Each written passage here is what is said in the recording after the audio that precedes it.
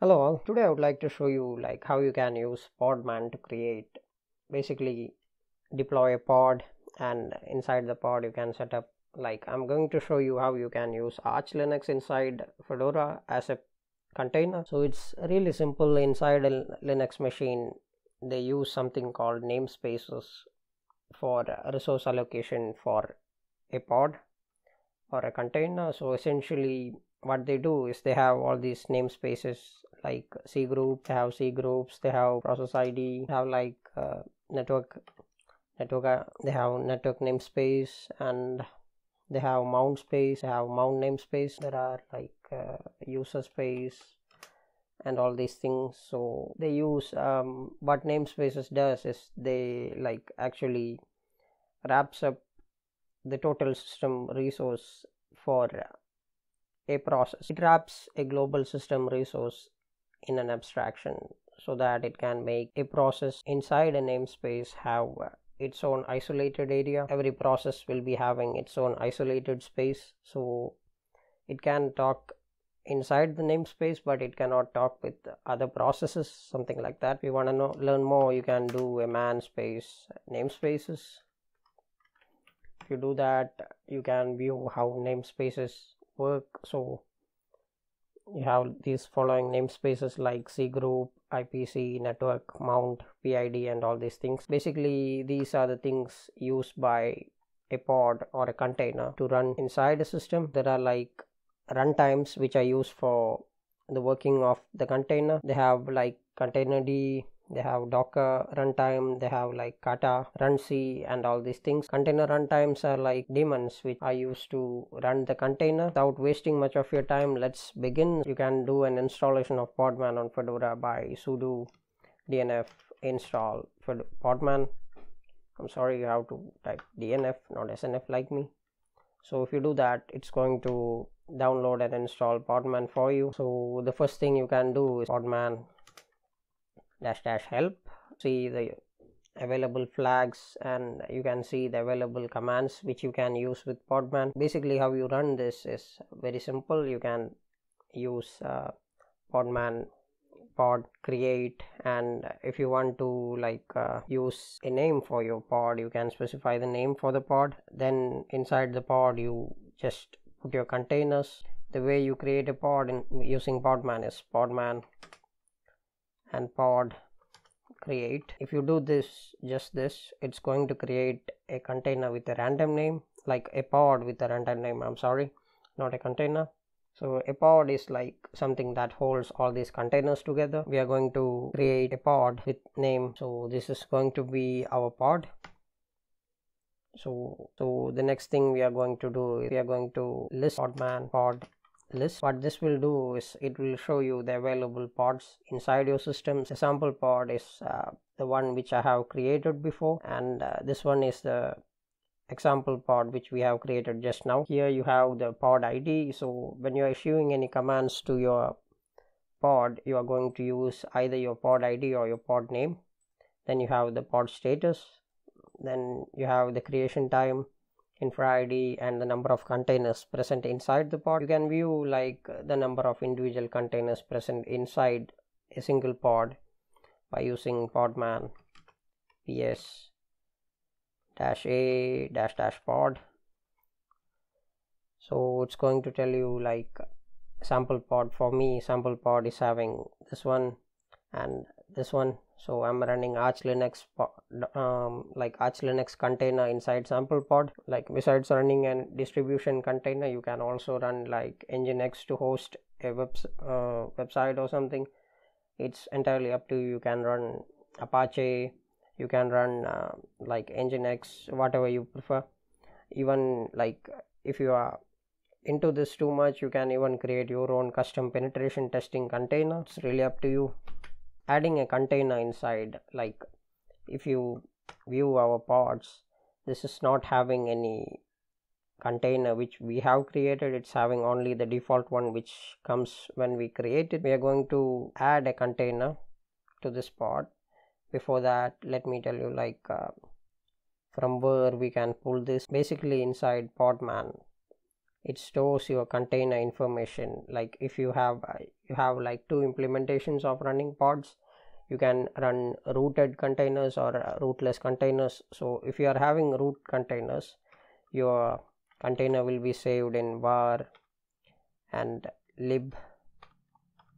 And inside that you have containers. Inside that you have uh, storage. Then if you're having like uh, non-root containers they will be stored inside this location your rootless containers will be stored. If you want to know where your containers are stored you can do podman space info. So if you do that it's going to give you information about uh, the volume path where it is stored. The root path will be this one and all these things you have uh, all this information and you can see the registries. So registries are like uh, the locations from where you pull your container image. Basically it's inside configuration file so you can view that by using your text editor. Vim.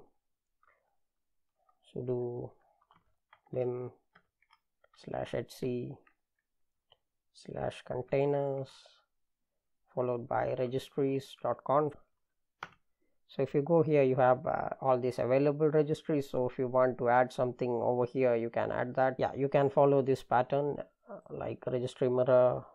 So you can use uh, like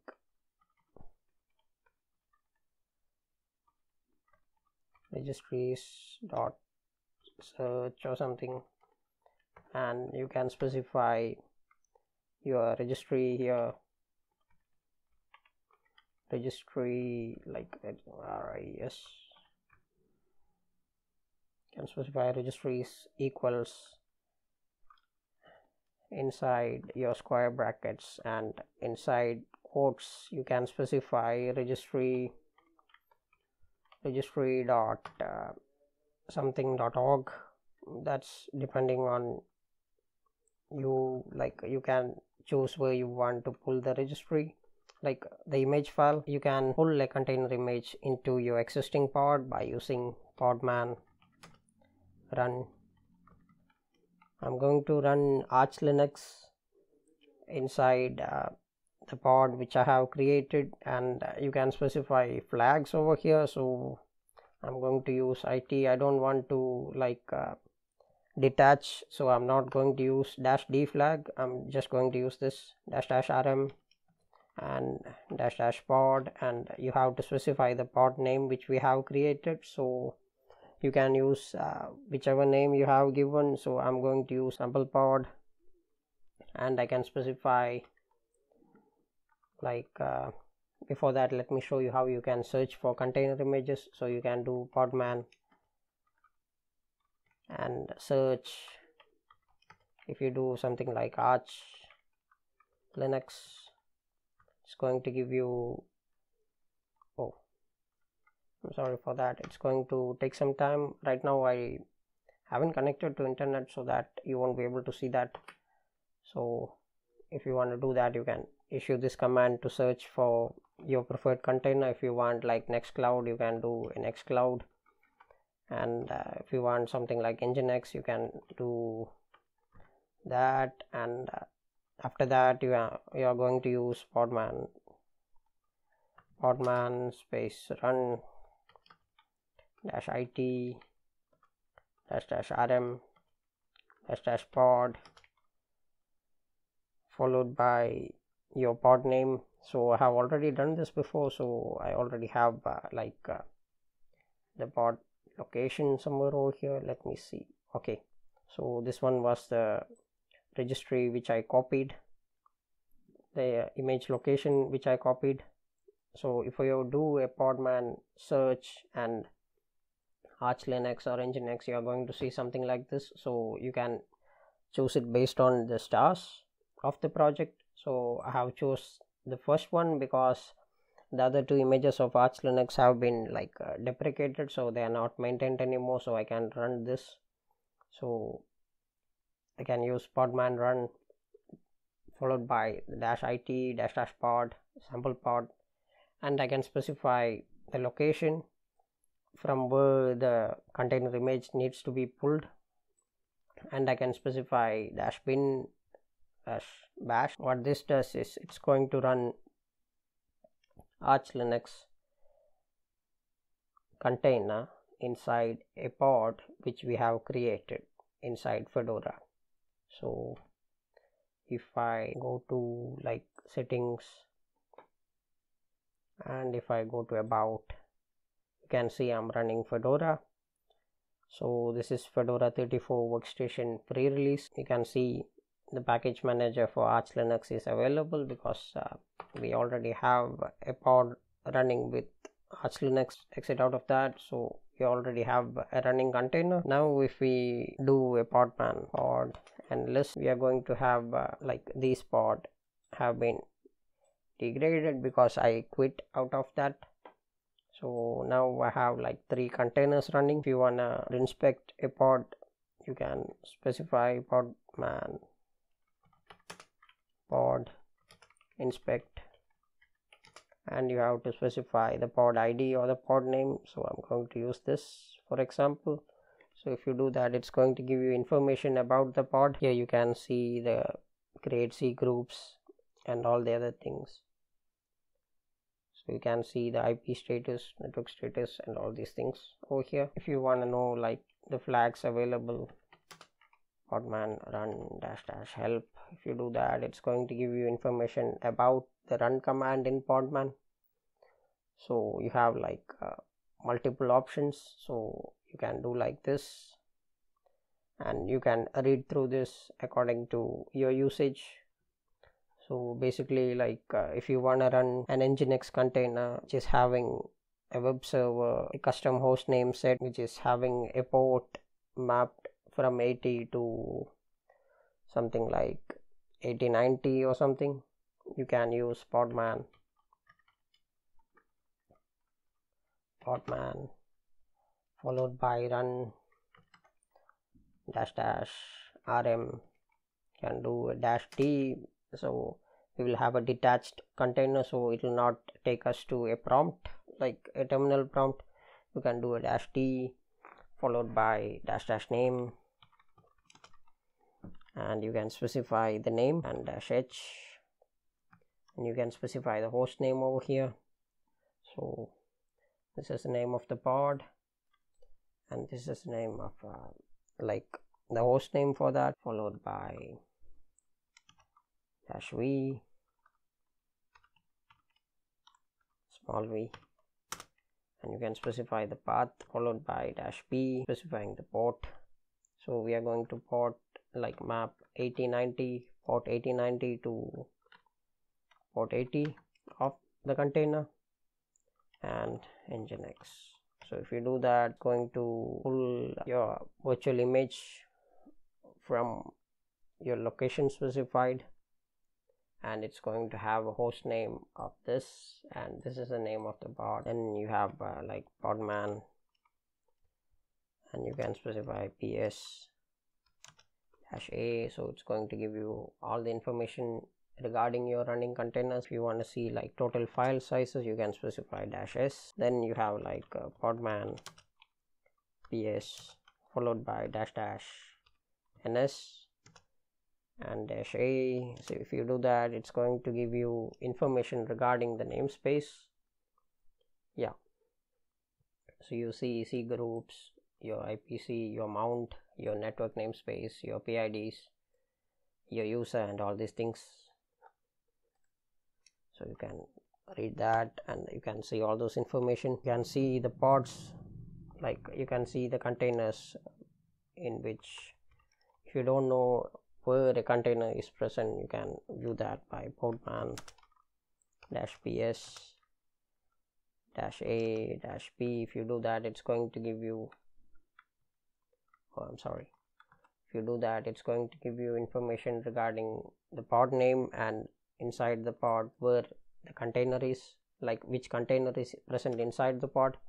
So if you want to know that you can do that. Then you can use podman inspect followed by the container name. Then you have podman images. So it's going to give you all the information on the containers which are currently inside the system. Podman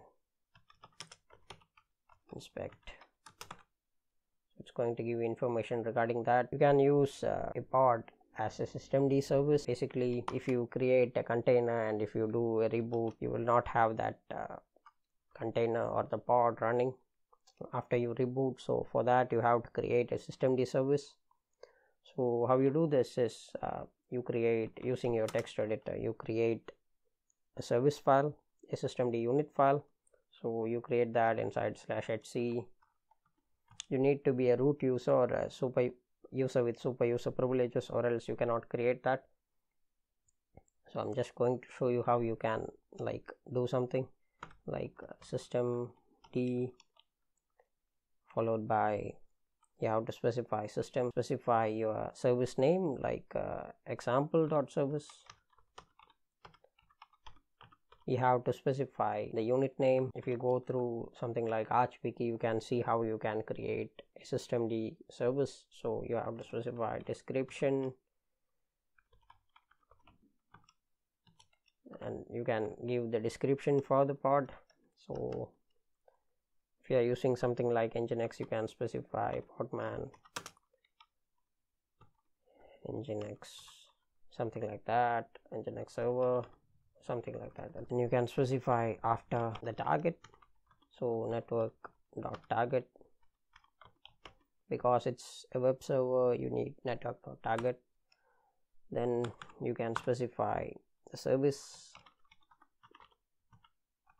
Here you have to type like specify the type of service. So you have to type like simple or something. Then you can specify the interval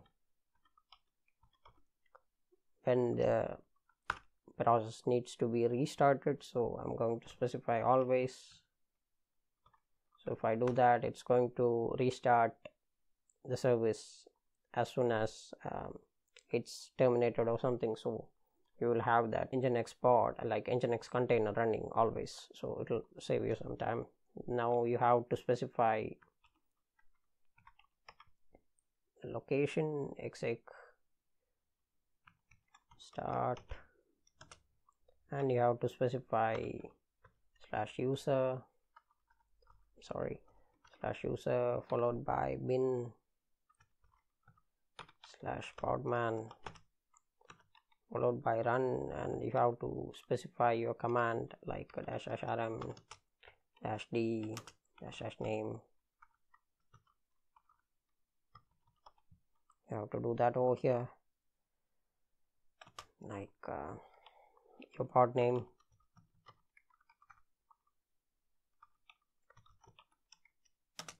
Followed by for example if you're having a host name you can specify the host name. Then you can do dash v and dash v after that. You have to specify the location slash home and uh, you get the idea. You have to specify the username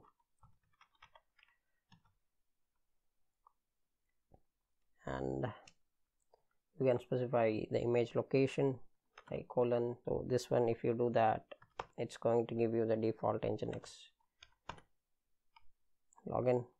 Like html you have to specify the port after this 8090 or 8080 according to you followed by the port which it needs to be mapped from port 80 of the container. And you have to specify nginx so that is done. And you can specify exec stop. You have to do that. And you can specify like so what this is going to do is it's going to create a systemd unit file. So after that you have to save and exit this file. So i'm going to quit out of this because i don't want this. So you can create a service like this and you can exit out of that. Then you can enable system ctl enable service name it's going to start. So for that you need to have super user privileges or you need to be a user with super user privileges. So what this will do is it will enable the service. So on the next reboot you're going to have uh, access to pod running always when you boot the system. So if you want to enable right now you can specify dash dash now. So it's going to enable and start service. So if you have any doubts you can always ask in the comment section. I hope you all have a wonderful day